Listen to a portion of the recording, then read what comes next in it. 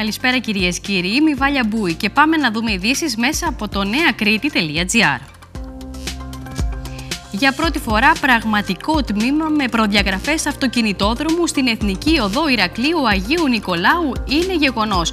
Μέσα στη Μεγάλη Εβδομάδα παραδίδεται το πολυπόθητο τμήμα Γούρνες Κρεσόνησος. Πρωτοποριακή ηλεκτρονική υπηρεσία από το Βενιζέλιο Νοσοκομείο. Για πρώτη φορά οι πολίτες αλλά και οι ασθενείς με ένα κλικ θα μπορούν να δουν αλλά και να τυπώσουν τα αποτελέσματα των εξετάσεών τους χωρίς να χρειαστεί να μεταβούν στο νοσοκομείο. Δύο χρόνια λειτουργίας κλείνει αισίως η Δημόσια Τράπεζα Βλαστοκυτάρων Κρήτης. 1.200 μητέρες επέλεξαν να δώσουν το ομφαλικό αίμα του νεογνού τους.